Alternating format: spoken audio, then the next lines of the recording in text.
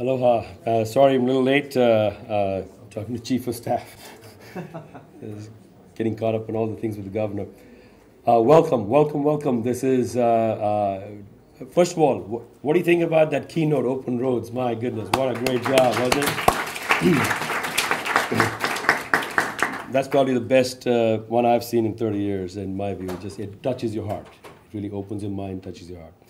So today, what we're going to talk about is open government and and and data governance. So it's data governance is you know what I was talking about was open and closed.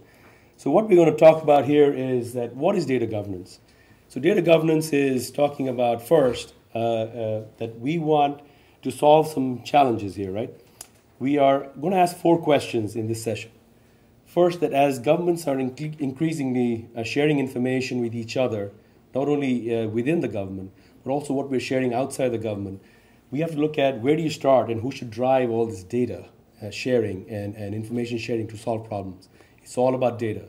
We also have to have open roads and open minds, of course, to how we look at problems. But at the end of the day, data is what drives, it's the lifeblood of most organizations. Who owns the data? How should we keep it secure? Some should be open, some should be closed. And what standards should we use? I mean, these are questions that we need to answer. I think the main thing that we'll come out of this session, and we have a distinguished panelist, set of panelists here, is that we want to make sure that this is also aligning with the plan. As you heard the keynote, it's all about we have this vision, we know where we want to go, but we also have a plan. This lines up with the governor's New Day vision, of course, in terms of transforming government and also sustainable economy, growing a sustainable economy, and investing in a workforce. But at the end of the day, it also looks at transparency and accountability so that we can look at open government and how we make this thing happen. Data is changing every day. Data are, is what we call facts and statistics that work together and are collected together for reference and for analysis. But governance is the act of how do we put it together and make use of this to solve policy. But it's either a separate process or decision making. It's everything that we need in terms of the whole life cycle of data as it becomes information that we use in our daily lives. So Patricia Seybold is a famous architect, and she came up with this famous expression that data with context becomes information. And today you heard that in, from a photographer. That, that was way cool. Information with experience is knowledge. And he said it, knowledge plus understanding is wisdom. I couldn't have said any better, and we did not rehearse this, by the way. I was blown away by what he was talking about. That's what we're all after. But we just, let's first get to data, good data. Data will grow by 800% in the next five years, with 80% unstructured text and media. That means that you have to find a context and figure out how to label that information and find, you know, like what they call index and so on and so forth. It's very hard to look at that context. And so data just keeps moving. There's just incredible amount of volume of that moving around. In the federal government, they have set up the Privacy Act, the Information Quality Act. They've got the Espionage Act, which is talking about leaking for security purposes. They've got AG guidelines. The previous uh, AG guidelines was protect everything, share what you must. The new Attorney General guidelines under President Obama is share everything, protect what you must. So previous one was protect everything, share what you must. Now it's share everything, protect what you must. You see the difference. The difference is now that the president has come up also with his open government uh, uh, platform, which allows that the data belongs to the people. The government does not have the monopoly on the best ideas, that you can use data and, and come up with solutions that you need in your daily lives.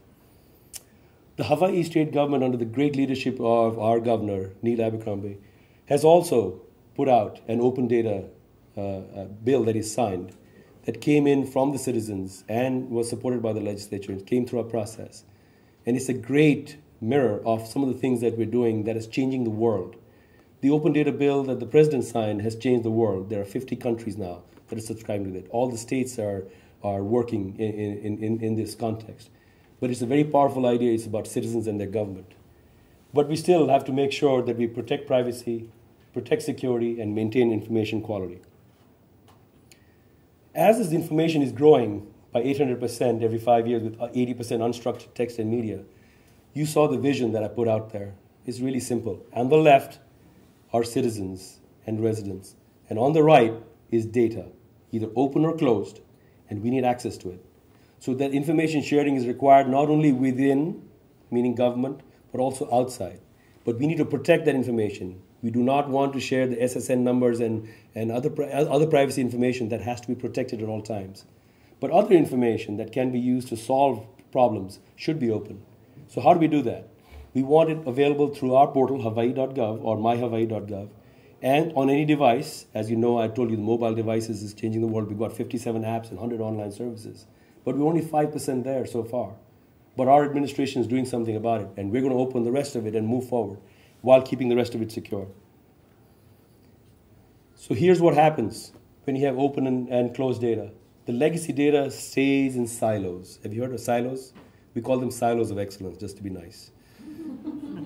Yeah, simply put another way, they're closed databases where you say, hey, no can, come in. You know, no can. We want to change that where you can protect that, but if certain information, if you start sharing, you can get all kinds of of ways to solve problems. On the right is open data, where we can put some of this information out so we can use that. And when you put things, things together, you do some amazing things. On the left here, on two, in 2009, when we first, when the president signed this into law, uh, I, I, was minding my own business, being the CIO of Interior Department, cabinet agency in the federal government. The federal CIO, who's the U.S. government CIO, came to me and like, hey, you got some time between uh, seven at night and you know morning to work on another project. Uh, we need to get this thing. The president signed this in bill. We want to get this out. We got data.gov up in three to six months.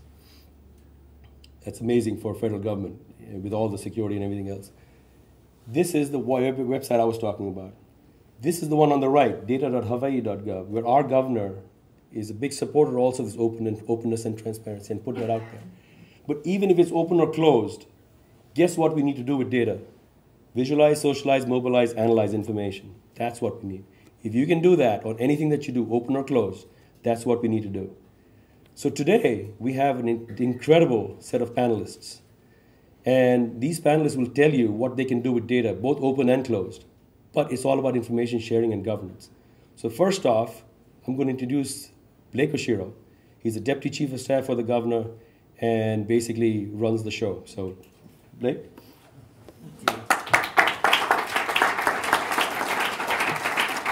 Okay, thanks, Sonny. I don't know if I'm incredible or actually run the show, but thank you anyway for that introduction. Um, so I'm Blake. I'm the Deputy Chief of Staff for the Governor. And so what I do is I primarily help the Governor in his policy development and the budget when it comes to putting it all together. And so really what we're talking about when we talk about data and why we're doing this is you know the governor has always looked at data as the real means by which we need to be making policy and by which we need to be making decisions. And what he wants to have is data driven decision making and so that was sort of the directive that he sent down. And so what we're trying to do when it comes to data is a few things. We're mostly trying to use it as a communications tool because I think people have a sense that our departments and our agencies are out there in the slog. They're working really hard. They're in the trenches. They're doing the good work on behalf of the state of Hawaii.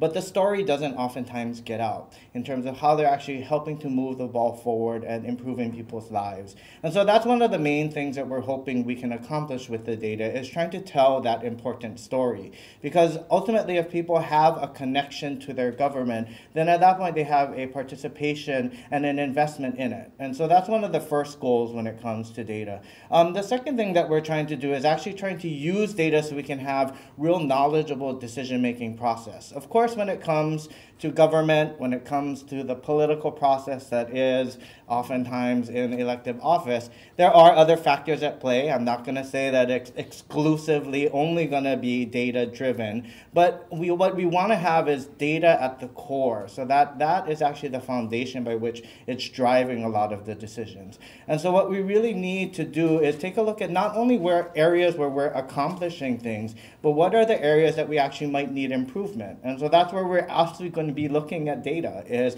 where are we actually just kind of holding the status quo or where actually are things going on a downward trend that we actually should be improving. And so that is sort of the overall driving forces when it comes to data.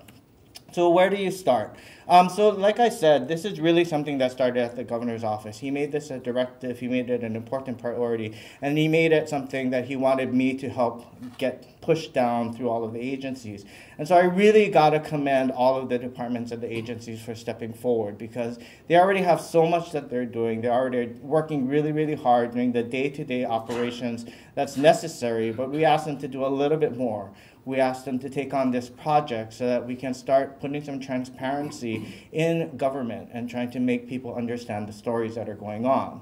And so, like Sonny had already referenced, um, this past year, the legislature passed and the governor signed Act 263, um, which actually will require us to start moving towards this open data initiative.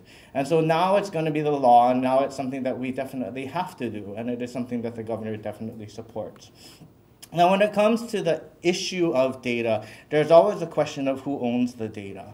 And I think what we've always told the departments and the agencies is they are going to be the owners of it. It is not something that we are going to try and take from them and we're going to try and spin it a certain way or try and make it something that it's not. The data is the data, and the only way that it maintains its credibility is it has to maintain its accuracy. And so that to us is an important factor so that we make sure it's owned by the agencies and they're the ones that are going to be controlling it. Um, so what we're going to be doing when it comes to the data is we're going to try and see to what extent we can have even departments working with other departments. Because oftentimes what we found is um, Department of Human Services has some great statistics on their um, Medicaid program, um, but oftentimes that stuff doesn't necessarily get translated to the Department of Health or vice versa. And so we want to try and make sure that we have this open communication going on so that we can always be moving the ball forward.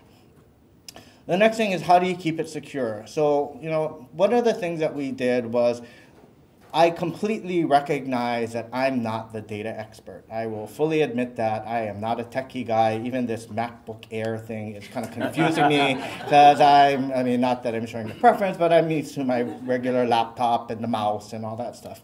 Um, so I fully admit I'm not the data guy. And so what we did was we formulated the Data Council. And so each of the departments and the agencies have appointed a particular person to participate on this council. And that person is actually going to be the one that sort of drives what are the policies when it comes to defining the standards, to defining who's going to be controlling it, what are the prioritizations of the data, what kind of policies do we need when there are certain things that need to be protected, like Sonny had uh, referenced, when there's things that we can't be putting out in public, but actually, more importantly, how are we integrating all of the departments together? Because as you'll see when Beth um, goes forward, there's going to be some areas where actually some of the goals that we're putting forth are multi-departmental. And so we need to make sure that our departments are coordinating and collaborating when it comes to the data. So uh, what standards should be used? Our general standard is open as the default. What we want to say is look at the data and we want to make it available to the extent that it's possible. As long as it's something that we can disclose, that's going to be our goal is to try and disclose it because ultimately, like I said, it's the law. Secondly, it's something that the governor really, really believes in. But third, we want to see and have a real engagement with the public and with the departments so that we can start using the data to, to start moving this all forward. The last thing that I wanted to talk about was the timeline. And so this is just kind of a general sketch of what you can see we've been doing so far.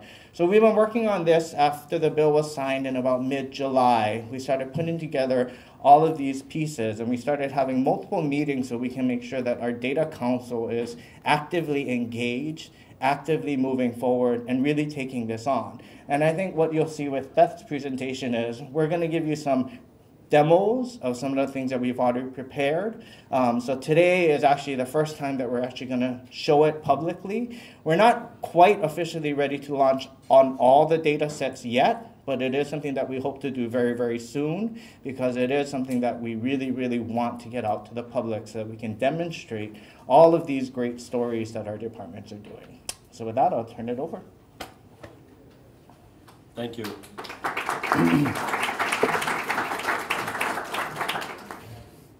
Thank you, Blake. Uh, I wanted to introduce Beth Blauer. Uh, before I do that, just want to also recognize Cheryl Kakazu Park in, right there. She's in the Lieutenant Governor's office, and she's really also a key player in this whole, uh, and was really responsible for helping us with this whole open data bill, and also the Uniform Information Practices Act. Got to put that in there. So with that, I want to introduce Beth Blauer. She's the former Chief Operating Officer for the state of Maryland, working for Governor O'Malley, and was one of the key people who really put out StateStat which is, in my view, the best uh, uh, dashboard in the country. So uh, until Hawaii, of course, but but it's a very tall order to come to that level. But she is amazing, and I think Blake and and Beth will talk a little bit about this dashboard that we're aspiring towards.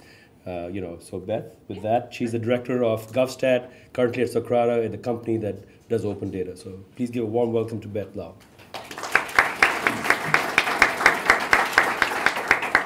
Thanks, everyone, and um, uh, thanks for having me. Um, hope, I've met many of you um, over the last several months that I've been here on the ground doing work. Um, today, I wanted to talk a little bit about sort of why it is that we're doing this, and I want to answer those sort of same four fundamental questions that Sonny asked us to um, answer more through my context of the work that I was doing in the state of Maryland to give you some of the my experience more to sort of position my credibility around why it is that I'm here, why I'm engaging with you, uh, why I'm nagging some of you and hassling you for data and information. Um, but before I get started, actually, there are two empty seats up here. So if there's anyone against the wall wants to sit down, there are seats, and please come to, come in. Um, so you can uh, be comfortable. Uh, hopefully, I won't be too boring, but if you're standing up, I can imagine it might be a struggle. Um, so I'm talking a little bit about sort of this era of the shift from data-driven government. I think a lot of times when people talk about open data, sort of the default response is we're opening our data to making it public. But one of the things that I focused on in my work in Maryland that I'm focusing on here in my work in Hawaii is to think about the idea of opening data so that you can share amongst yourselves at government agencies. And so what we're trying to do is establish a platform where the first sort of um, draft of your um, path to open data is releasing that data and getting it sort of socialized amongst yourselves as government agencies. And this is going to help you as you're thinking about um, decision making. So we're using data in a much more robust way already in the state. Um, and we're trying to evolve into, an, uh, um, into a model where we can take data and start using it for decision making from a policy perspective, from a legislative perspective, from an operational perspective on the day to day, so that you start to think about more deliberately, particularly as we sort of emerge out of the recession into the new economy, how can we better leverage this asset, this data, so that we can make decisions in a way that's more responsible, so that we can be held accountable in a real way to our stakeholders, ultimately citizens of the state. And so the questions that Sonny asked are the right questions, right? This is how do you get started and what do you do and, and, and how should you drive it? The, the hardest part about any kind of data driven approach in government is actually just getting started. Um, and I think that sometimes it's like ripping the band-aid off, right? And, and people are a little bit, um, they have a lot of like anxiety about their data. We have sort of a spectrum of data owners and that we've seen here even on the ground where we've got sort of data hoarders who sit and, you know, they don't want to share their data. And then we've got people who are kind of oversharers of data, right? Who like really want their data to be, and we have to find kind of that balance and making sure, but getting started always seems to be the hardest part. Um, but the, the idea and, and, what should give comfort to those of you who are working in agencies who are very um, entrenched in, the, in, in, your world of both collecting and curating data is that you should always maintain control of your data. You are the best shepherds of your metadata. You describe your data in the best way. If, you, if we try to relinquish control of data from the data owners themselves, then all we're doing is sort of shooting ourselves in the feet. So you absolutely should be, uh, remain data owners. And then how do you keep it secure? You ask questions. You start to really think about sort of the boundaries of data. In Maryland, we spent an enormous amount of time talking about data. And those discussions about data, they helped us make some really important decisions around how we keep our citizens safe, what decisions we are making around housing for our citizens and the environment. And I'm going to actually talk a little bit more about that later. And then what standards should be used? The, the most important thing about standardization, particularly when you're thinking about metadata and sort of how to store and your data and think about your data is that it's consistent. That you shouldn't be creating standards for your data and the same silos that exist within your agencies. But you should be thinking about it more from the enterprise so that when any user of data from the state or consumer of data from the state can look at the metadata, can look at the descriptors of that data, and then they can say, they have an initial reaction that, oh, this is the Hawaii standard for data. It's consistent with national best practices. It's consistent with state best practices, but it's acknowledged that it's across the enterprise. I wanted to show you just a quick video. And I was telling um, Blake earlier, it's a little Martin O'Malley, so excuse us, it's where I come from, but it does give a little bit of background about sort of what I was doing and where I came from. And I think it might help sort of contextualize the, the rest of our session. Just a couple of minutes, so bear with me. And oh, oh now we're still, uh oh, hold on. We still are an AC/DC for you. Sonny. All right, hold on one second. Let me get out of that. Unless you want to just uh, listen to AC/DC. All right, sorry. For many in the city back again. then, a cauldron of crime, drugs, and profound despair. All right. I copy shots fired. Off of mission just south of the off ramp of the 15th.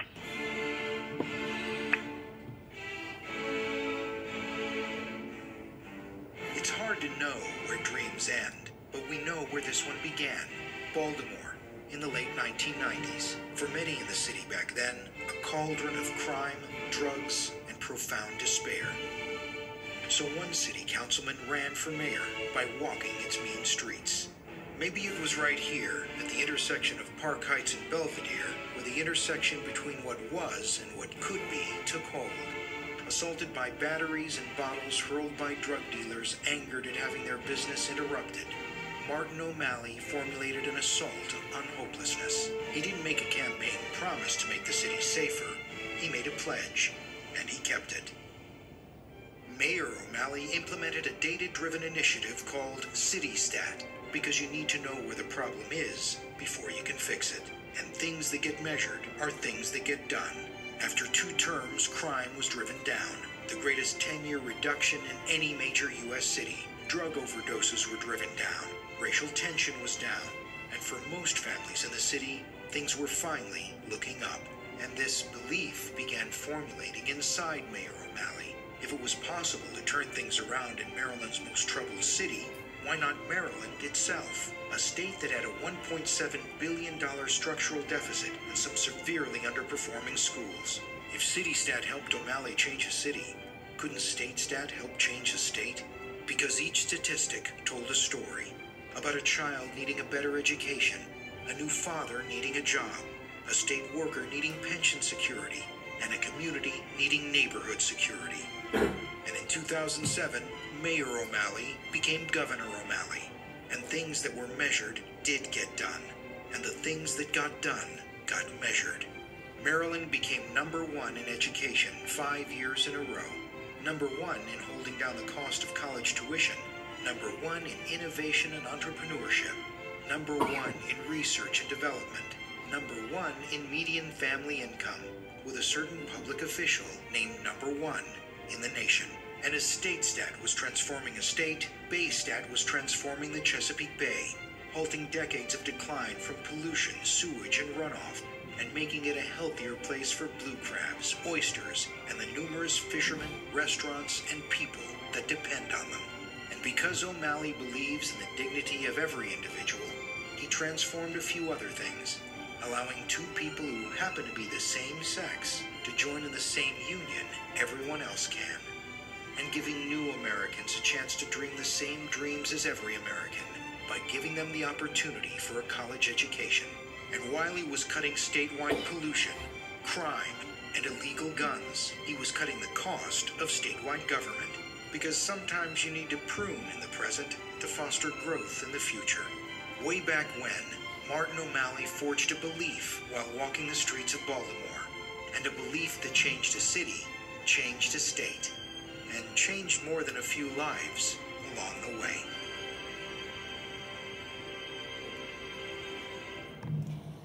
So that is a really great description of the oh sorry of the work that I was doing in Maryland. I was the director of StateStat in the governor's delivery unit, and I was responsible for overseeing that data-driven approach. um, to land some of those number one um, designations. And Sonny has, in turn, um, has uh, hired me to get some of those number ones from Maryland here in the state of Hawaii. And so we're working together with Blake to, to accomplish that. Um, but I wanted to just to show that video to sort of give you the context of that. The idea of this that sort of sometimes when we think about data, we think about data in a really binary way.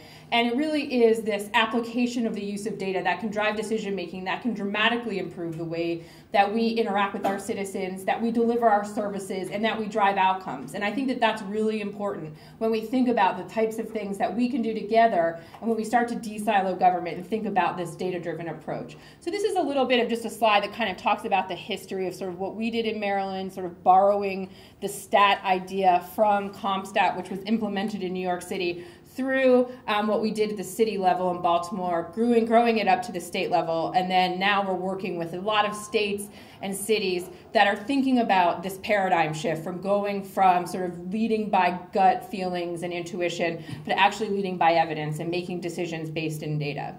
I did want to take you through sort of a quick example of how we did that to kind of help you visualize how we use data in the state of Maryland to drive decision making.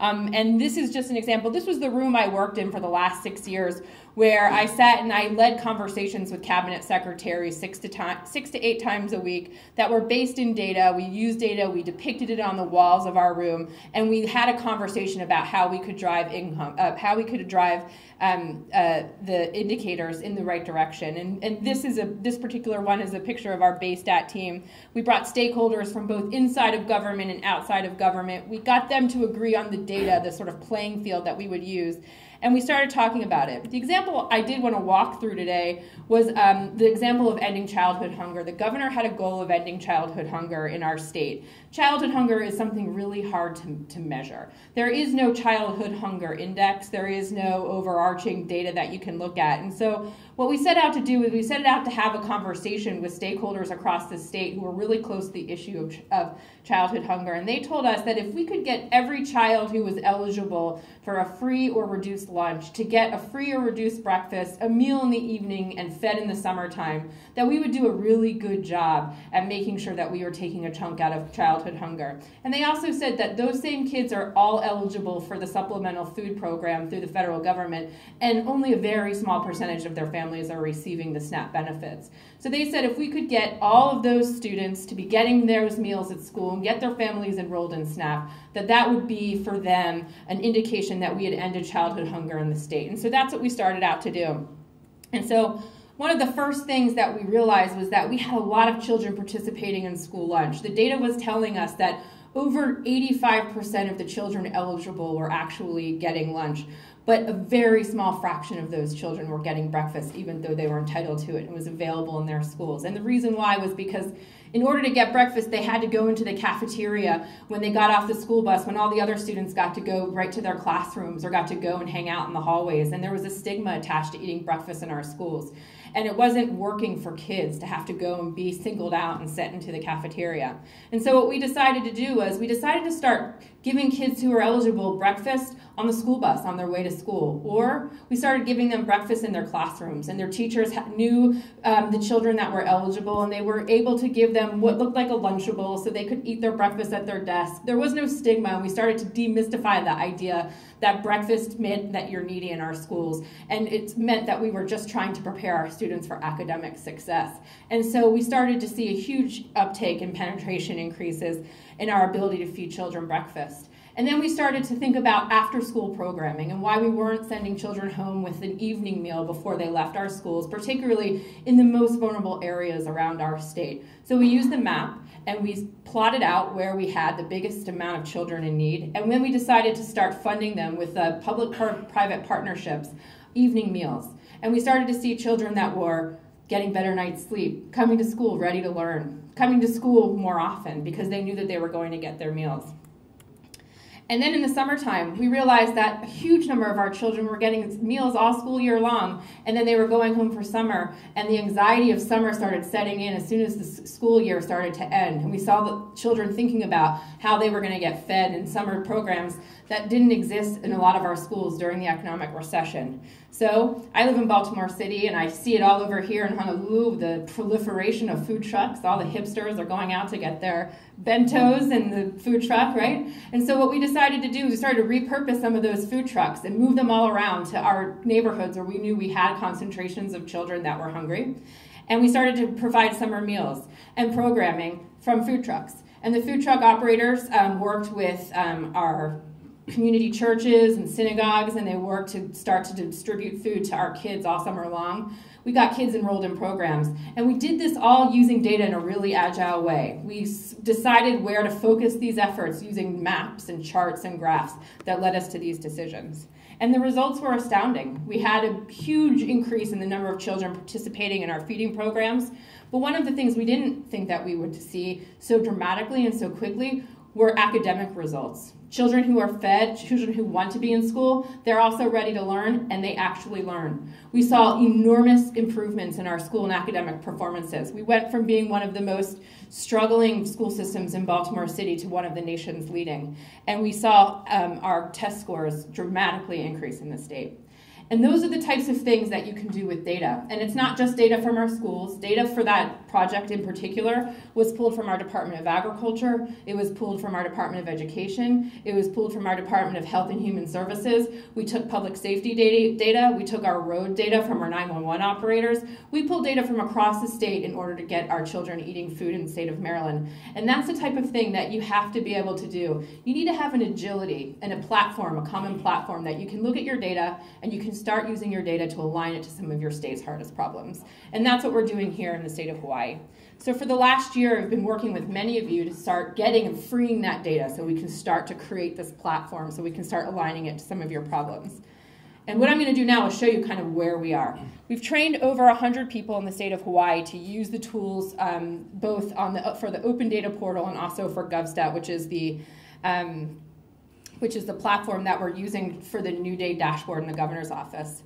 Um, I have to pull up this one dashboard, which um, was made in our test uh, in our in our training this week because it is pretty awesome. Um, this person who um, architected this goal will go unnamed, but I will say that they are measuring their awesomeness by Oz. Um, the tools that are available to you um, are available to you not only for the New Day dashboard that the governor is using, but also so that you can demonstrate your awesomeness and measure whatever data you have and track it internally to you. Um, but in all seriousness, um, we're doing a lot of great work, and so actually, I'm going to start from here. There's a few of these are. This is the dashboard, um, and I'm actually going to start here. So you can see um, the way that we're taking the data is we're, this is everything that you see here is um, being stored of sort of on the Socrata platform. This is an in, totally internal dashboard right now that we're just using um, to get started. And the idea is that we're going to be freeing a lot of data, getting it onto the platform, and then eventually when the governor's comfortable with it, when the agency is comfortable with it, there may be portions or aspects of this that do get released to the public. But the idea is that we're going to use it first to solve some of our problems. And so you can see the types of information that are getting onto the dashboard. Um, you can see some of the data we're pulling is being pulled from multiple sources, and many of you probably have seen this in some form or format um, up until today. Oops, I'm to turn that off, sorry. Um, all right, and so I wanted to show you a couple of examples. So um, the Department of Energy is actually doing an incredible job. They are using a lot of data both on their own website. Um, this is actually DBEDT, the energy sort of um, agency that sits within DBEDT.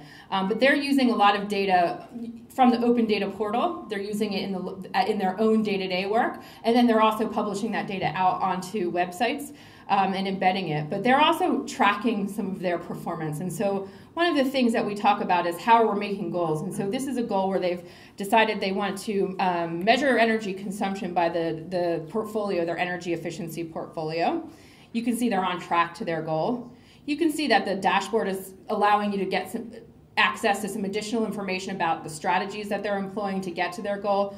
This is an area where you could also talk a little bit about what some maybe linking it to some programs if you wanted people to be able to enroll in programs. And then you can see the data is telling them, um, and this is all explorable data, how um, they're doing. And so you can see the Energy Star buildings over time. You can see the number of buildings um, that are LEED certified, and you can see the agency consumption leading by example in the state agencies. And then there's also this one, and I'm gonna, because in, in the interest of time, I'm gonna skip the third one I was gonna do. But I wanted to call Blake up because he's gonna walk you through this example. Okay, uh, so really quickly, what this one is about is the inmates that are serving on the mainland. And so one of the things that the governor um, indicated when he promised to get um, elected was he wanted to try and bring home as many of these prisoners as possible. And so what you have currently is you have 2,000 people um, when he took office that were on the mainland in detention. But as you can see over time, what we've done is we've brought it down to 1,400. So we definitely are trending in the right direction. But what you will also see is, you know, we take a look at some of the data that's uh, really behind this. And so while the operating expenses have pretty much remained flat, at least we can demonstrate that we are investing in the infrastructure because we're putting in the capital appropriations. And this is really important because what you'll see down there is each of the facilities. And when you see the design in the green versus the actual capacity in the orange, you can see that we're just way maxed out on capacity. And so the only way in which we'll be able to achieve that goal of bringing people home is we're going to have to increase the capacity. There's just no other way to do it. We're going to have to have more bed space. And so when you take a look at these three drivers, what you can see is it's not the operational money that's being the, the question, that's still maintaining itself. We are increasing more in terms of capital expenditures, but if we really are going to be committed to bringing these other 1,400 people home, the only way we're going to be able to do it is to make sure that we have more bed space. And so this is just a great example of how we're using data so that next session we can go forward with a plan to actually have that increased capacity. Um, so we're using the data to actually be a policy-driven decision making. So I, am around. I have, uh, um, I'm just gonna put the PowerPoint slides back up, Sonny, um, and available for you. And uh, and also Karen Higa from OIMT is here, and she is sort of leading the charge from that perspective. And um, we are here for you. So um, if you have any questions, we'll be around. Thank you.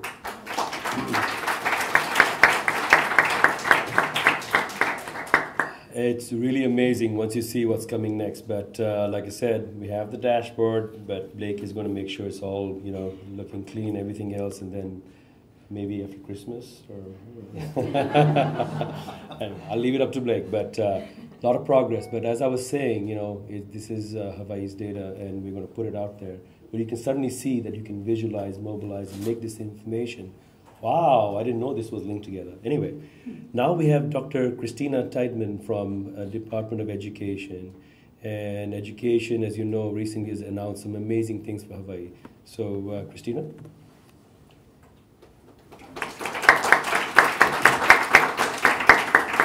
So at this point, some of you may be thinking, uh, okay, I'm on the open road. I see the vision, I'm heading that way but I'm really apprehensive that if I turn around, nobody from my office or my business, my agency will be behind me, right? So part of what I'm going to be doing is sharing with you the Department of Education's um, journey looking at data, data governance and how to build in some of these structures. So it's going to be a little bit different pace than what you've heard already.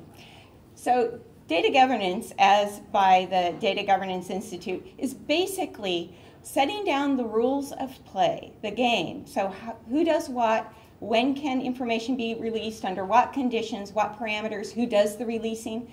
Because, for instance, with the Department of Education, it's an enormous agency. We have lots of people and lots of different silos, and what may be happening in one silo may conflict with what's happening in another silo. Probably all of you have experienced in your own agencies, depending on who you talk to, you get a different answer. So data governance is about how do we get the same answers for anything related to the data within our system. And basically what we find is that just because we have the same employer doesn't mean we're speaking the same language. Particularly in education, we have the IT language and we have the program language. And they may sit in the meeting, have the same discussion, all agree at the end what's going to happen, and come away with completely different ideas or steps of action because they're seeing it from very different perspectives. So, part of what data governance does is bring that together and translate from geek to program, program to geek. and we're all geeks in the long run, so geek is a good thing in my world. so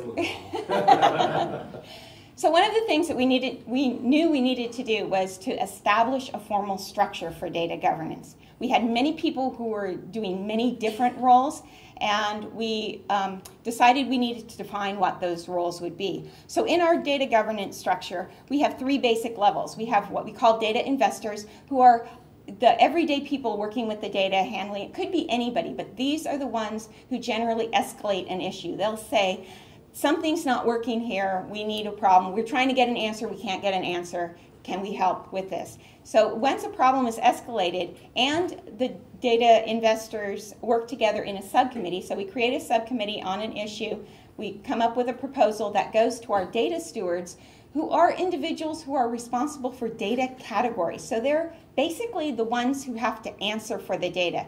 If it ends up in the Star Advertiser and somebody has to answer the questions, it's one of the data stewards who would be feeding the information or interpreting the information. So the data stewards are the ones who decide, who give the um, final clearance about a proposal uh, as to whether that resolution will work for their data and how their data interact. One of the challenges has been that uh, before we established our data governance structure, it was program viewed IT as the decision makers about data, and IT viewed program as the decision makers about data. So basically, no decisions were being made because each was looking at the other side saying it's their decision to make. So um, as we've done this, we've had to restructure how we think about data. So data by categories. So for education, it could be enrollment or assessment or discipline. Those are categories, not by system, not whether it's in our student information system or our um, case management system or our food services system, but more by the category of data rather than who owns the system. Um, once an issue goes past the data stewards, it goes up to the final level, which is our data executive committee, and that group depends on um, what the issue is. Sometimes it includes our deputy AG, uh, charter schools are often represented, um, and the leadership, executive leadership, because we still are a traditional organization who likes to be able to say the leader has approved it, and therefore we will all follow. So it removes some of that angst about, well, who exactly made this decision? So by building that structure and defining it, it has helped us um, move forward.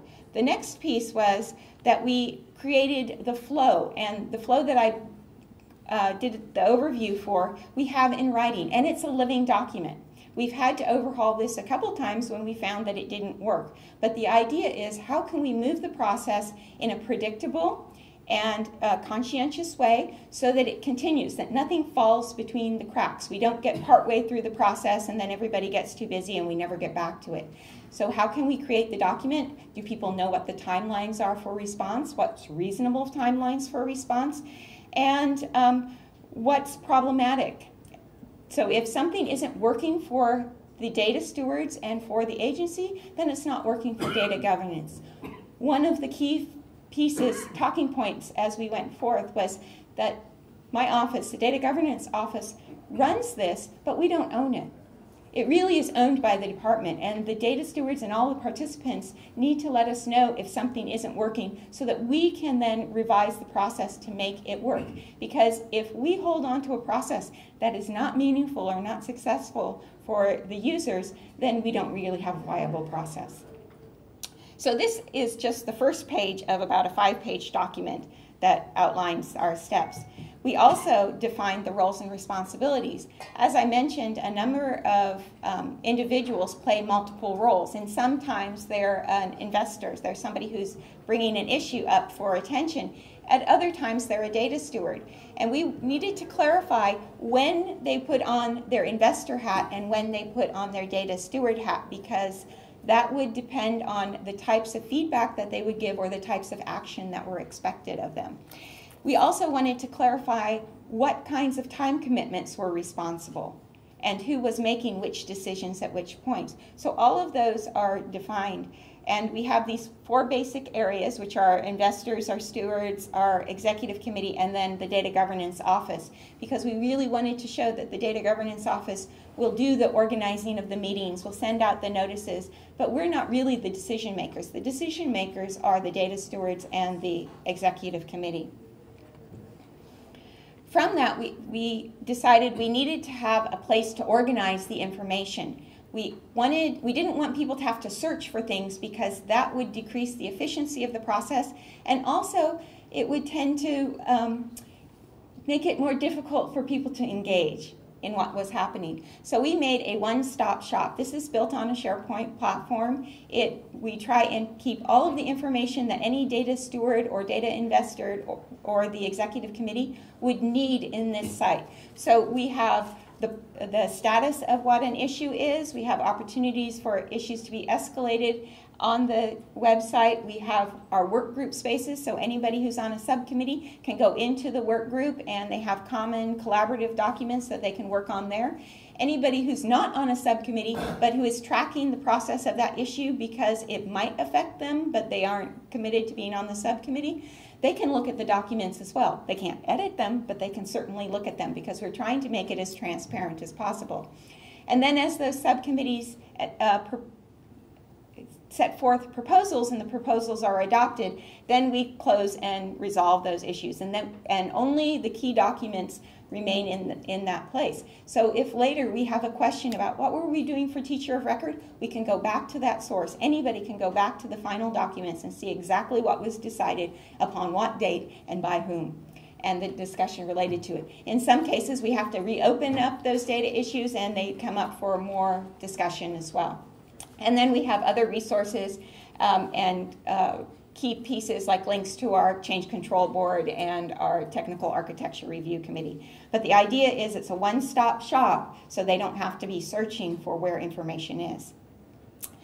Then the, uh, as far as our key accomplishments, what we were looking at here is we were able to identify who the owners are. So by establishing the data stewards and defining that it is the category of data that they're working with, not the technology system, that changed um, the perspective of who were the owners and who would do the releasing.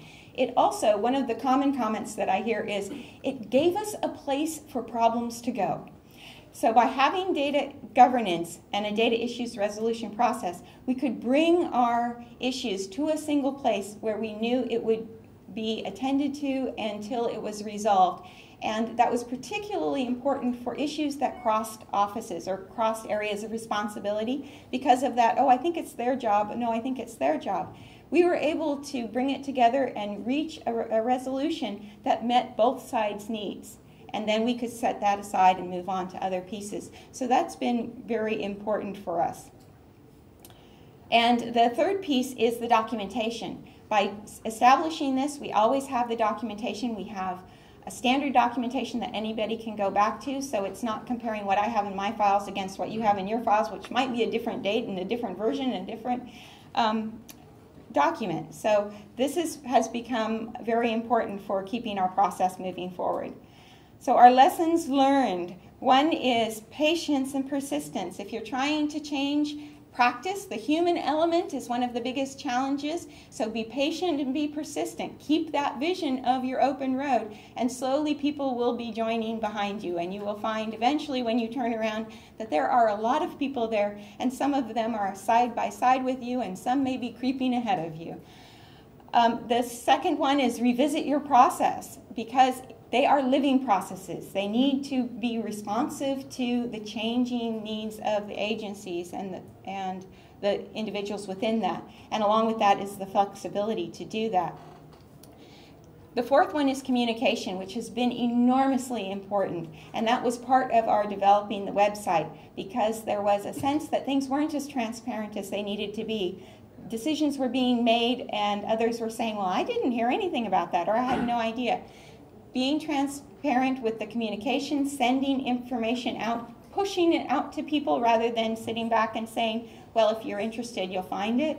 Um, that has been key to moving this process forward. And then finally, training, training, training, training, training. You cannot do enough training to move the process. And as things change, we need to keep training. We identify new groups who need more information about the process. And we know that that will continue as we move into the, the open data aspect. So if you are, if this is interesting to you at all, there are, we do have a data governance website, a public website where you can get most of the documents that I've posted up here or shown you. Um, also available through the Department of Education. You can contact us. Thank you. Thank you, Doctor.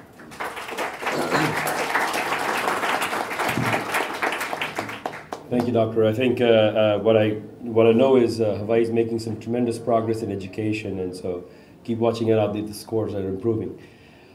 Now it's my turn to uh, uh, to uh, introduce Jesse Souki, the director of Office of Planning, and he will tell us some of the amazing things that are going on in his office and how we can solve this problem with data governance. So, Jesse.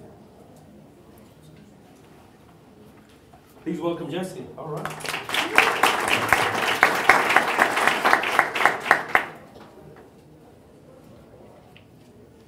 Okay, I'm Jesse Souki. I'm the director of the State Office of Planning. Uh, the State Office of Planning is the institutionalized planning uh, office for the for the state.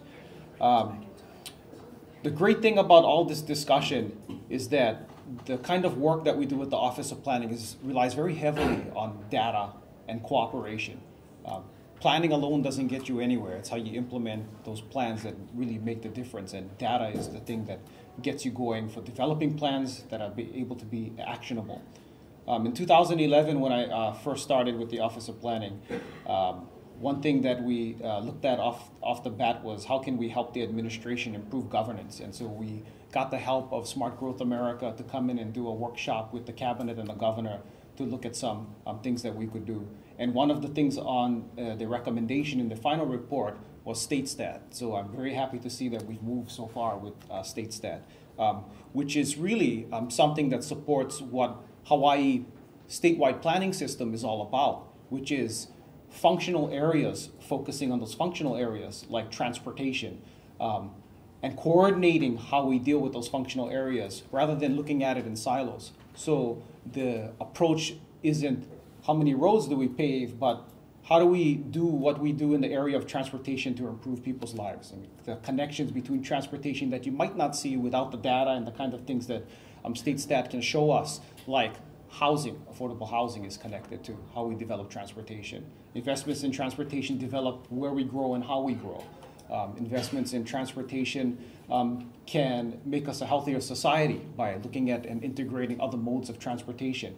And all of those types of decisions are cross agency, cross disciplines, and having this data available is, is very exciting and it's going to help us uh, make better decisions in the future for the people of Hawaii. And with that said, now I'm going to talk about talk from prepared notes because the, our office has several programs, and one of those programs is the GIS uh, statewide GIS program. And Joan De Los Santos, um, if, if you know her, um, if you have done anything with State GIS, you, you probably have met her. She's our manager um, in that program, and she prepared notes for me because I don't want to miss anything. So here we go. The Office of Planning is at the forefront of open data and transparent government in Hawaii, in particular the GIS Modernization Project, which is a joint project with OIMT, and the Office of Planning is a prime example of using modern technology to implement open data concepts in state government. So again, I'll just be focusing on the GIS modernization portion of the whole ITS plan. Uh, and what we're looking at is delivering data to government and citizens in a variety of ways through download, REST services, and cloud mapping that I'll talk about later on. Um, currently, we've published as much information as we are legally permitted to release. And this discussion is apropos. This morning in um, the advertiser, there was an editorial about open data. And uh, the writer of that editorial, yeah, talk, talked about um, uh, reference President Obama's open data, you know, the presumption that things are open, all data is open. Um, so, uh, you know, my office, we try to put everything online, but it's not that easy, right? That's oversimplifying. So, for example, we deal primarily in land use and planning. Um, do you want the world to know exactly where sensitive Native Hawaiian burials are? So you need to have some kind of governance for dealing with that kind of information. Um, we are um, looking at how can we plan for coastal uses and the community groups that we are involved with who tell us these are the great surf spots, you know, and you identify that in a spatial format so that you know how to plan around the area. Uh, they might not want that information to be public. So dealing with those kind of challenges. Um, so there's the want and presumption to make data open and available, but then there's also those, those other complicated issues that you have to deal with aside from statutory privacy requirements and such. So Office of Planning uses its website to make data available to decision makers and the public to communicate progress of programs and missions, and this is something that all of the state agencies actually have been doing as well. Um, we improved our website to make it user friendly so that information is easy to find uh, and easily accessible.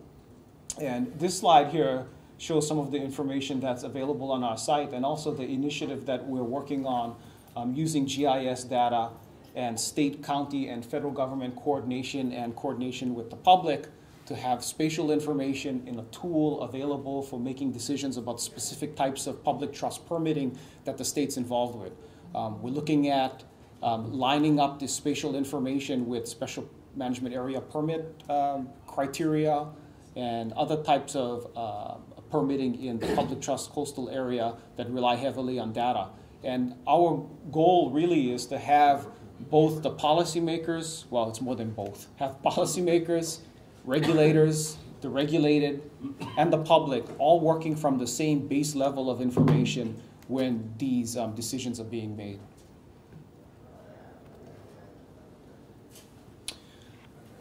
So our state GIS program has a long history of sharing data and open to the public. We've been doing it for about 20 years.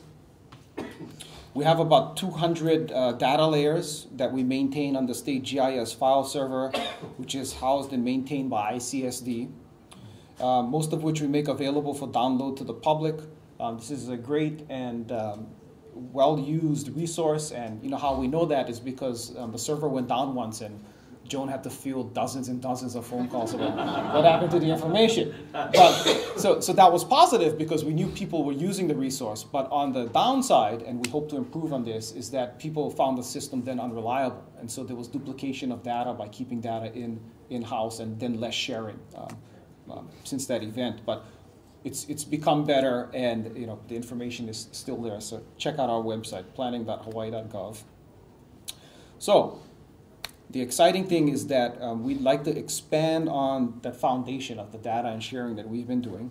And in 2012, when Sonny came on board, he set out to transform IT and state government, as you know, which includes GIS as a component of that. Um, what do you call it, Sonny? You call it the um, GIS is the what kind of app? It doesn't. Well, it's a killer app. The killer app. The GIS is the killer app. Yeah. With aloha. With aloha. so, um, uh, Sonny and his group, along with Office of Planning, convened GIS uh, working group of stakeholders, uh, mostly state agency GIS, but also we reached out to the Hawaii Geographic Information Coordinating Council, um, which is made up of county, state, federal, um, and the private sector, so that we could get everybody's input around the table. Uh, the group held several working meetings um, through January and May 2012, and they came up with a 10-year modernization plan for uh, GIS. Um, and as a statewide planning office, coordination and cooperation is vital to the work we do, so it was important that we reached out and got uh, made a collaborative effort. So Im implementation of the 10-year uh, plan is well on its way. The plan's vision is for, you, you can follow along on this graphic. Um, the plan's vision is for one authoritative data repository that will be the source from which a variety of data delivery mechanisms can be drawn upon.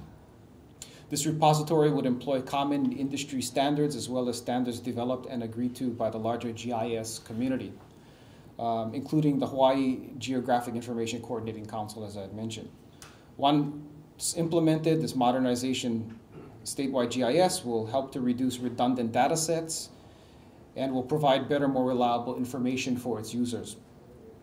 Um, our office is working with, you know, these are examples of things that we're doing to move the ball forward. Um, so the, one of it is our office is working with the Pacific Disaster Center, who has great expertise and a lot of resources. Um, and they're on Maui, um, to provide infrastructure for the state GIS servers, bandwidth, and expertise. Um, OP and PDC staff have begun migrating all of our hundreds of data layers into a relational database management system for improved performance. About 80% of the layers we have have been loaded into the database. And PDC continues to work on this, and we are working also on delivering the state's satellite imagery layers um, to that system. We have metadata for all of our data sets. Um, that's something that um, Joan has been good, good at doing. Um, she and uh, Dennis Kim is also in our GIS program. They've, they've always prioritized having metadata so people understand what they're using and where it comes from, the provenance. Um, um, but what we're also doing with PDC is converting this metadata into a federally compliant metadata standard format. Uh, the federal government came out with some standards um, that should make uh, metadata uh, more consistent, so it's going to be consistent throughout the whole country, which makes sharing and using data um, to mash things up and make decisions even easier. Very powerful. Um, and she wrote here, um, I, I, thought this was so funny. She says, it makes data more discoverable and metadata ingestible. Is that, is that a word, ingest metadata? You tech guys know what that means? Okay, I don't know. Tasty. Tasty? okay. Um, so although the Office of Planning and PDC are managing the data, we consider the data to be owned um, by the originators with statutory jurisdiction. Uh, for example, the reserve areas from DLNR, those layers that we have, the land use districts from the Land Use Commission, those agencies still retain, retain um, statutory responsibility for the accuracy of that data. But by um, pulling it into one centralized server, it makes it easier for users, decision makers, policymakers to access the data and, and mash it up. Um, the data is delivered through REST services, um, which are pulling directly from the database. Um, once fully implemented, the data will be available across platforms regardless of what GIS software or web API you might be using. Users uh, with desktop GIS will be able to access the data through the REST services to do their mapping or modeling as well. Um, always using the best, most up-to-date data. In some cases, users on the state network will choose to access the data directly from their desktop. However, for many desktop map projects, pulling directly from the live authoritative database will be the preferred method of accessing that data. Um, some other things that are going on, um, OIMT has purchased an annual subscription to ArcGIS Online, a cloud mapping platform for state agency users. Maps and applications made in this environment will also use the authoritative state GIS database through the REST services. Um, there will be no need to make a copy of the data. Um, that, that's a reoccurring theme. You don't want duplicate data across the state in silos. Um, the state GIS program simply registers the REST service in the cloud environment, and when users point to that layer in ArcGIS, the data is pulled from the REST service. Um, the user will be able to search data layers directly in ArcGIS Online, and this will be all transparent to the user, which is good as far as I'm concerned. Transparent. And then that's the whole concept, right? To make the tool available to decision makers who don't have a, a, a master's degree in GIS. I know, I know when I first started um, uh, in, at the university, we were just coming out with email, and you know, I was managing a computer lab at the time you know, it was uh, Windows 3. and, uh, you know, GIS was something that was the cool thing, you know, and, and in order to get data out of that system, it was, you know, even though I was pretty good at working with, uh, you know, basic language and networking and all that, I could not wrap my mind around GIS. We've come so far, and, and we want to go further to make it very easy for the people who need, need to make complicated decisions to use GIS because it's a powerful tool. Uh, let's see. oh, okay. I'm almost done. Another example um, of a project taking place with respect to both ArcGIS Desktop and ArcGIS Online is OIMT's work on implementing an enterprise license agreement um, with Esri. This will include deployment of desktop and subscriptions to ArcGIS Online.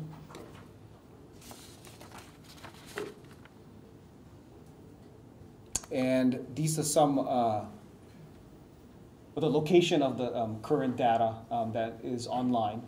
And it, it's an example of how the modernization project um, is using uh, modern technology to deliver data to government and citizens in a variety of ways through the REST services and cloud mapping at gishawaii.gov.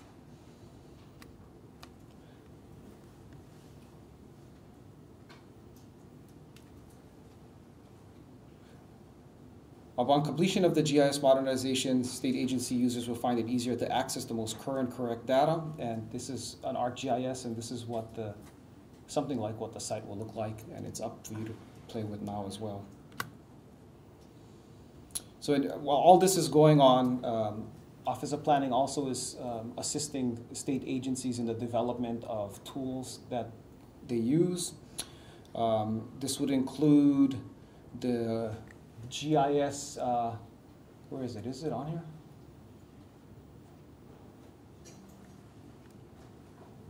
Oh yeah, EnerGIS. Uh, you know, uh, the GIS program in my office worked with uh, Energy to develop the EnerGIS program, um, which is received very well by the energy community. Um, energy developers um, helped develop the pedestrian accidents um, map for Department of Health, the vaccination locations, and the DLNR coastal users maps and tools.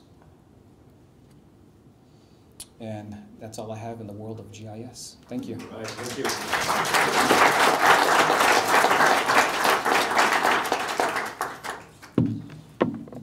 You left me 26 seconds spare to spare. Thank you. Wow. Uh, the last presenter is uh, Lorrin Kim, and he is from the Department of Health. And we will start the process by going this way. Thank you. Great. Please give him a warm welcome. Uh, thanks, everybody. Um, it's 11:15, so that's when lunch starts. And what's important to know, aside from the fact that I work at the Department of Health, is that I spent 20 minutes circling the parking lot trying to get in this morning.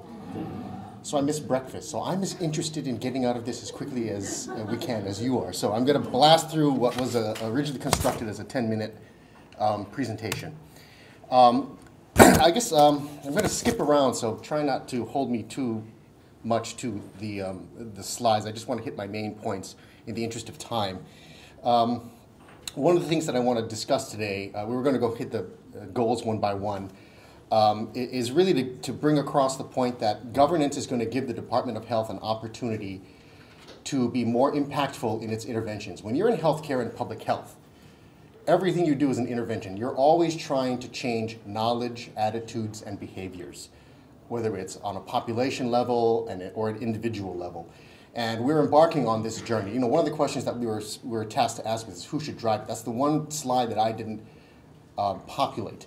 Uh, and that's because it's being driven by the leadership of the governor and Blake. They've given us the tools, and I'm really, really grateful that we have this opportunity. They, they, set the, they do what leaders do. They set the expectation that we're going to have this um, opendata.gov, that we're going to have Socrata come in, and it's just been a tremendous um, boost to our organization because we all would have been sitting around.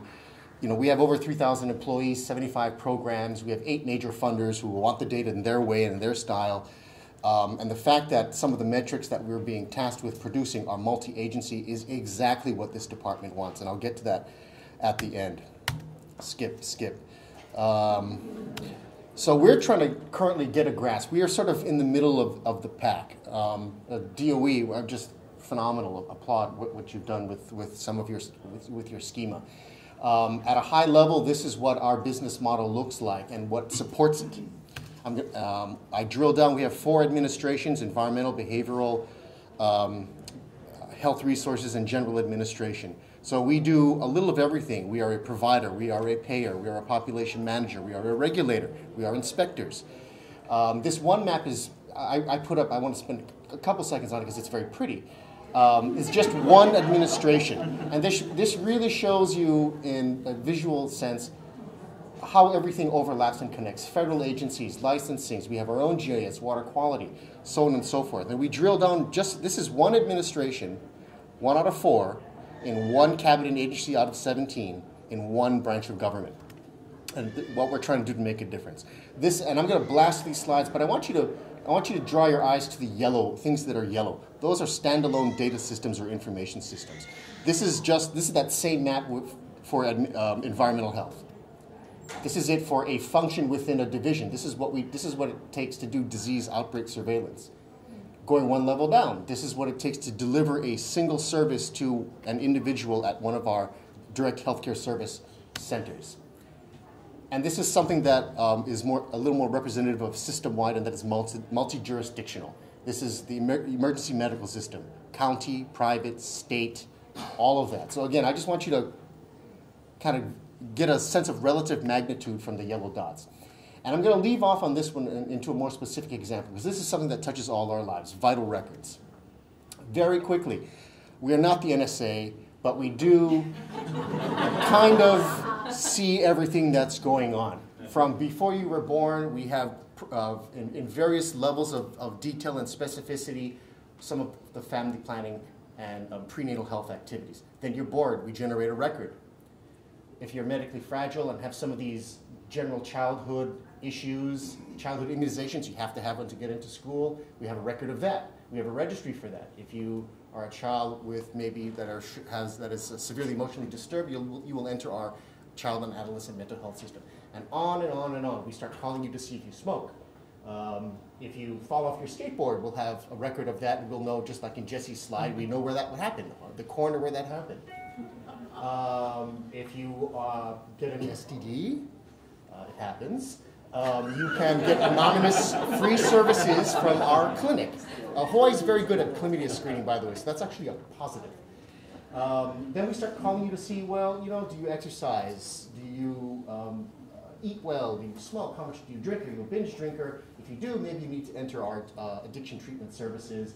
If you traveled somewhere and bring back a communicable disease, so on and so forth. So, you know, throughout your whole adult lifespan, the Department of Health touches you in some way. And even into the senior years, we're into falls prevention, community paramedicine, senior flu vaccination, extremely important. Then there's a death record, but we're not done with you yet. Have a burial permit, a cremation permit, and then we need to make sure that legitimately and appropriately you are taken off the rolls of your insurance plan or your, you know, you're, you're not on voter, voter records or anything like that. All this is happening while we're also trying to protect everything you eat, everything you drink, everything you breathe, everything you ingest, all those tasty data bits, Sonny. Where you're recreating, you want brown water advisories, and everything that you're recycling, your computers, your, your, your bottles, and so on and so forth. Remember, everything we do is an intervention, right? Um, I'll, I'll, skip this. I, I do want to spend a little bit of time on who owns the data. Uh, it is an ethical and professional standard in healthcare and public health that for medical records and public health records, you own the data. We are stewards of that data. That is an extremely important concept. None of us can forget, especially when we're talking about governance. It's your data, it's data about you, it's stuff about you, you own it. There are legal interpretations of that and contractual interpretations of that in provider payer relationships, but it's about you. This is the perspective that we're coming from. We take this stuff very, very seriously.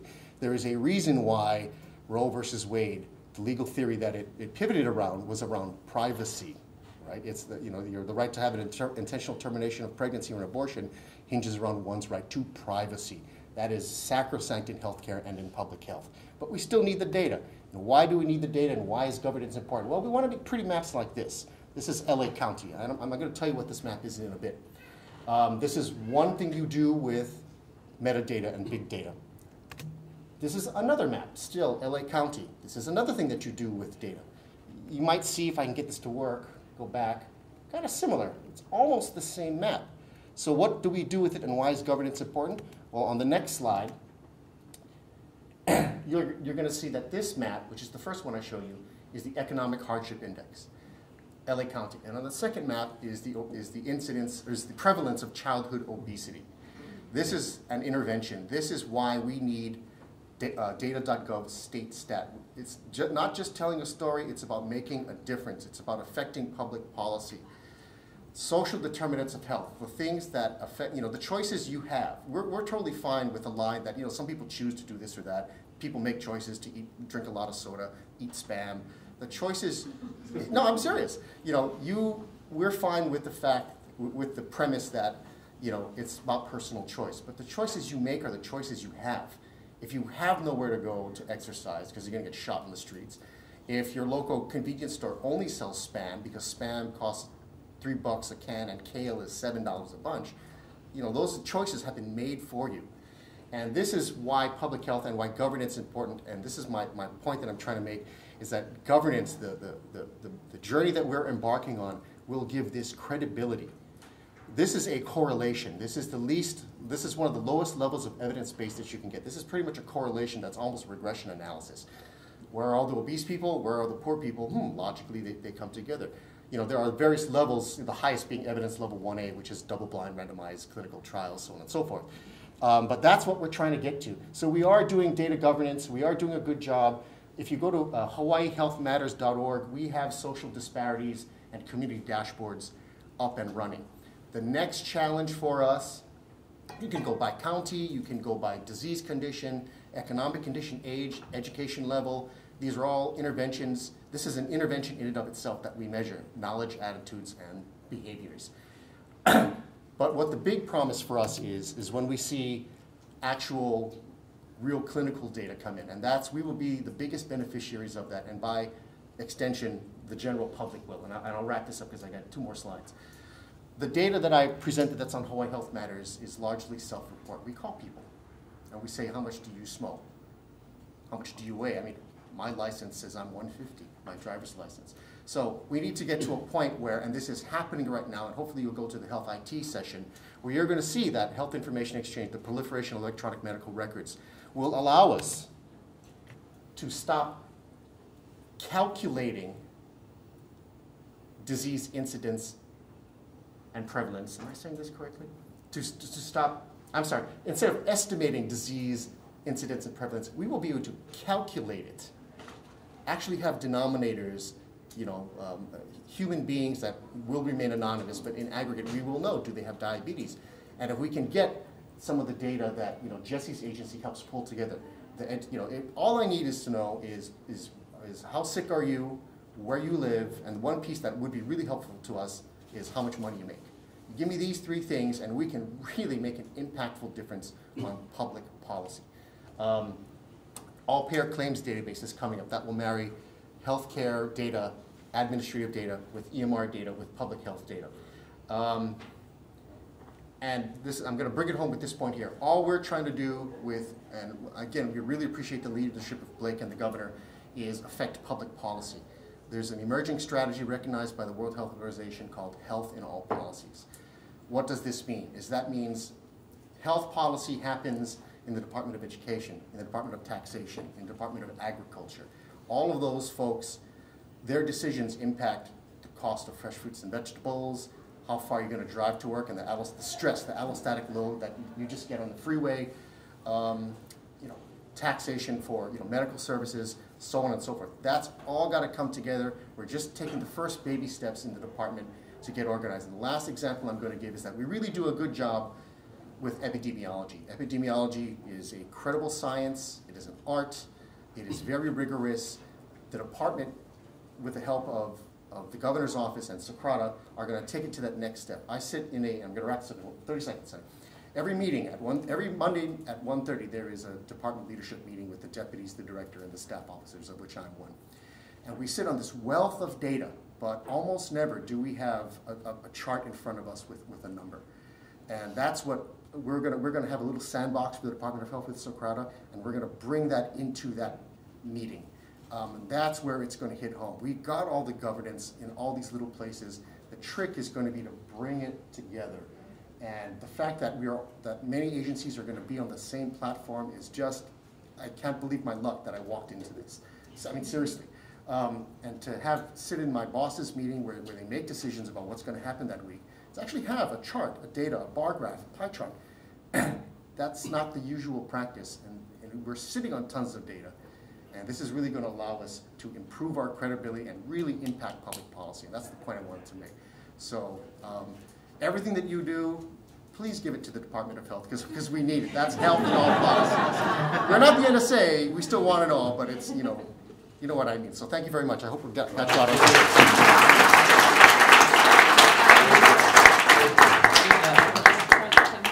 That was a great job. Uh, yeah, great. Uh, and we don't mind giving it to you as long as it's protected, yes? So, uh, well, a couple of things. First of all, I want to give a shout out also to Burt Lum. Uh, he has been the author of that bill and really one of the forces behind it with open data. So, big shout out to you. And uh, it's all about the citizens. And I also wanted to recognize uh, we have uh, Karen Higa is in the back. She is uh, our new open program manager, open gov program manager. But I also wanted to recognize Deborah Gagne. She was the first open data manager for Hawaii, so thank you very much. And uh, I want to just say, can you give it up for this panel? This panel is just fabulous. fabulous. So uh, I'm actually a little bit over time, but if you don't tell anybody, we can take a couple of questions and just keep it to ourselves. What do you say? All right, any questions? Yes, sir. Can you take these PowerPoints and put them online somewhere? Yes, all of them will be made available. Every. Open, open data. We, we will. I will just check with. Uh, we're going to put it on my website for sure at uh, oimt.hawaii.gov. But I'll also make sure that uh, this uh, this site here has it, uh, which is the Center for Digital Government. But let me. That's a good thought. We'll announce it at lunch. Okay. and I'll put all the YouTubes and everything. But everything you see on, at this conference will be made available to you. So please, yes. Um, what security measures are you utilizing to protect all this data?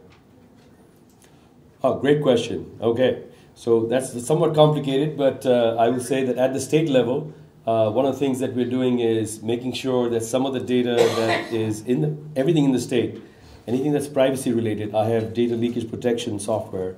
It's a tool that we use so that if, if, if it's leaking across the boundary out of the state into the internet, I can check it.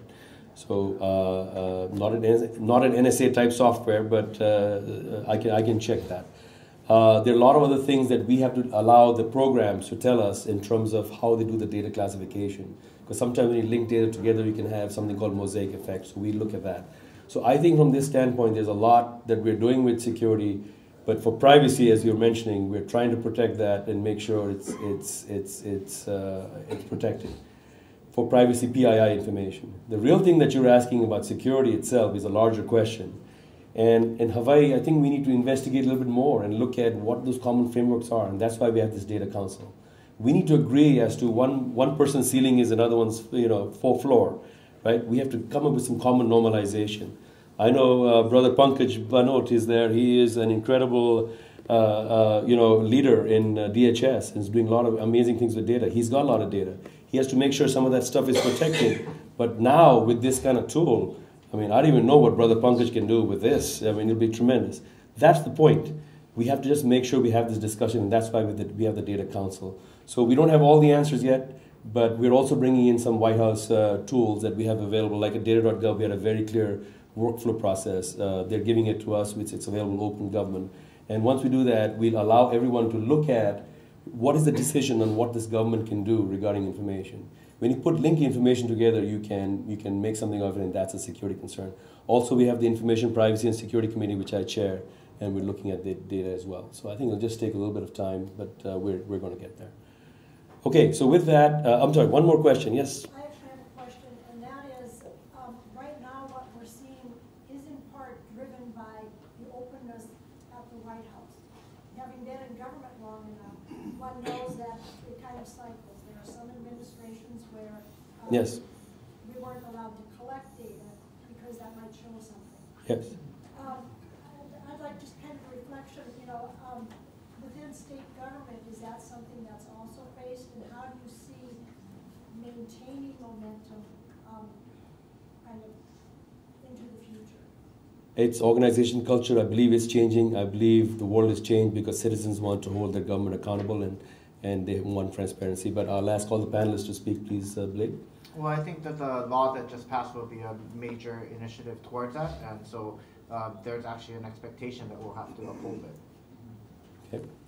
I think also that the idea of the commoditization of data is going to be really important. So we're seeing a lot of private small businesses that are essentially growing up around data that's available from the government. Um, some examples, G- um, well, GIS data is obviously a big example, but if you think about GPS, how frequently you're using GPS, that's an open government data layer. Anytime that you look at weather data, that's a government open data layer. And so the idea is that we're seeing um, on a macro and a micro level, lots of data sets that are going to be heavily relied on around app development. And um, once the gate, floodgates are open to that kind of economic development, I can't see too many people pulling back and trying to close the doors to access that information and data. Christina? Um, I think there's a fine balance between transparency and service delivery and then the um, concerns about public access or over privacy, uh, release of privacy. So I think it's going to be a lot of finding the balance as we move forward slowly and as people become more comfortable with what the limitations are and what can be expected and what's not acceptable, it will um, develop slowly.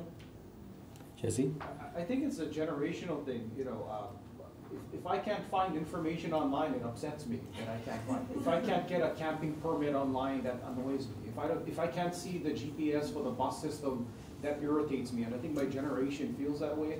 I think we already know the kind of information that we can and shouldn't share, the pub, private information about people's health and, um, maybe proprietary information and contracting, but I think everything else should be open. And, and another thing too is just because that data, data is not decision making, so having data available doesn't take away the need for decision makers or policy makers. Okay, Lorrin? Uh, Very quickly, that I guess the way you maintain momentum is you start demonstrating success. That's part of the storytelling Blake talked about. And you start highlighting problems. I know exactly what you're talking about. For example, uh, there are certain laws on the federal level that prevent uh, data related to gun violence from being collected, period, or being analyzed, period. And you can't manage what you can't measure. But you know, the more that we get out there and, and, and get people like, it's also a generational thing to, to examine how we solve these problems. We'll take data, and people, as long as people are interested in making their lives better, you need information to do that. So I think having a generational critical mass, and whether the, and what contributes to that is the convenience, the modern lifestyle we have of instantly looking something up.